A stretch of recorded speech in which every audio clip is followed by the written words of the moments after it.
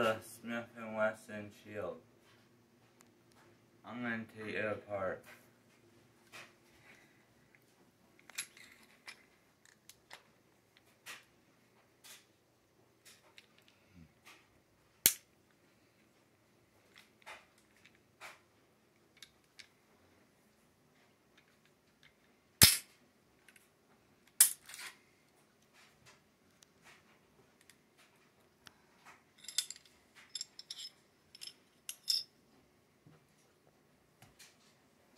This is this is the barrel, this is the spring, and this is the receiver.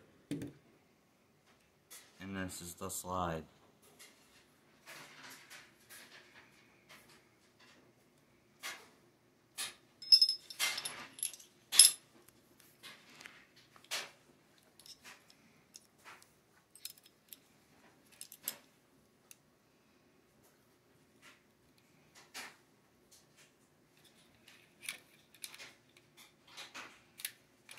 and these are very delicate so barely have you have to be careful